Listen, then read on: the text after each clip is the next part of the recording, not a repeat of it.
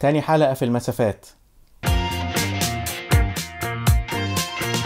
انت عزفت يا بتاع البيانون وجعت دماغنا.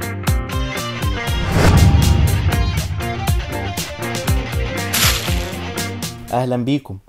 المرة اللي فاتت لو افتكرنا أخدنا المسافة الخامسة. طيب أنا ناخد بقى المسافة التانية بقى النهاردة؟ لا أنا هاخد المسافة الرابعة. ليه بقى؟ لأن المسافة الرابعة سهلة قوي إحنا خدنا الخامسة.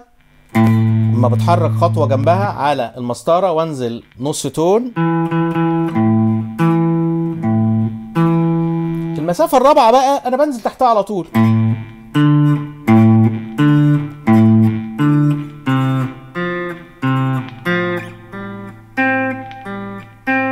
طب بالنسبة للوترين اللي تحت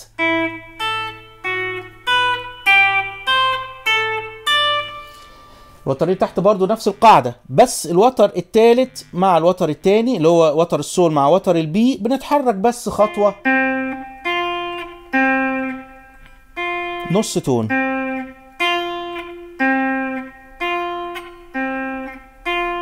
المسافة ديت لو إحنا قلنا سي اللي تحتها إيه؟ اف سي F C F D G D G E A E A المسافة الرابعة ديت مسافة ظريفة قوي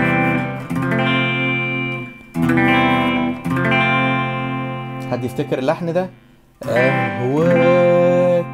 لو أنت فكرتها على طول في أغنية أهواك أول حتة فيهم أهواك. أول جملة في أغنية أهواك أهواك دي رابعة. بيسموها رابعة تامة برضو. فيبقى عندنا المسافة الخامسة والمسافة الرابعة حاجة بيسموها رابعة تامة وخمسة تامة.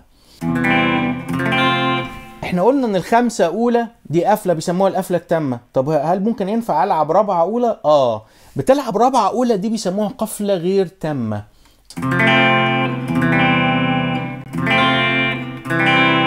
رابعة أولى. فا دو إنما السول بقى؟ سول دو خلاص خلص الكلام.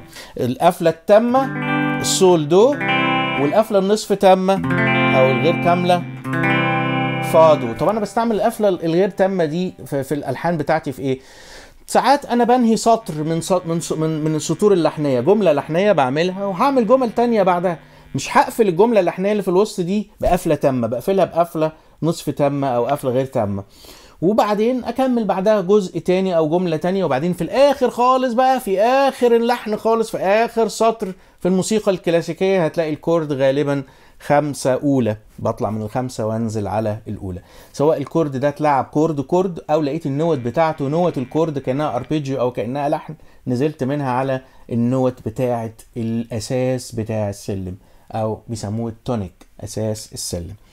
فإحنا خدنا كده مسافتين. طب هو في مسافة رابعة وخمسة مش تامة؟ ما إحنا قلنا آه الخمسة لو أنا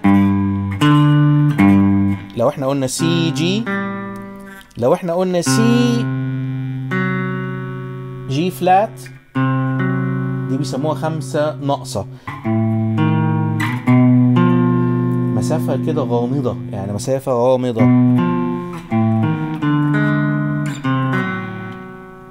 وأشوفكم الحلقة الجاية مع مسافة تانية.